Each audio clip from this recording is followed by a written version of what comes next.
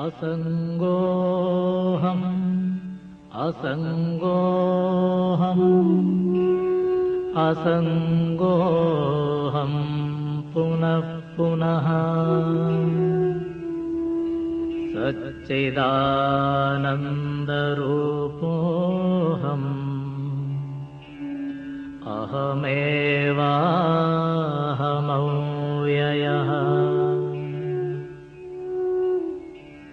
नित्यशुद्धविमुक्तोऽहम्